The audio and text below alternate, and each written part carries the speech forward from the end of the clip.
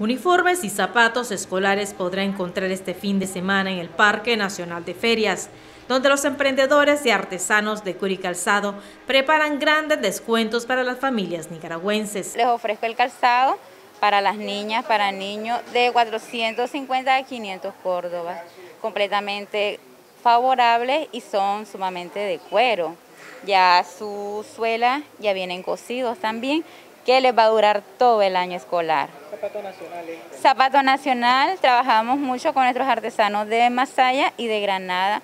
Eh, su calidad es muy linda, ¿verdad? Muy bueno. En el mercadito campesino la población podrá encontrar frutas, verduras y granos básicos. Estarán presentes más de 150 protagonistas de la economía familiar ofreciendo su producto como textil vestuario, gastronomía, bisutería, rancho gastronómico, tenemos lo que es vivero, eh, artesanía en barro, en, madera, todo lo que es artículo en cuero, faja, bolsos, zapatos, de todo para mujeres, hombres, niños, niñas. Soy artesano eh, en la parte de bisutería artesanal, eh, también hago pintura.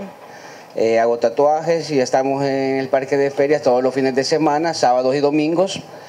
Eh, de las 7 de la mañana y media, 7 y media de la mañana hasta las 7 de la noche prácticamente, porque a esa hora comenzamos a armar todo. Así que eh, por ahí los esperamos, es un espacio familiar. Recuerde que el Parque Nacional de Ferias abre sus puertas desde las 9 de la mañana, la entrada es gratis al público y habrán otras actividades recreativas. Tania Sirias, TV Noticias.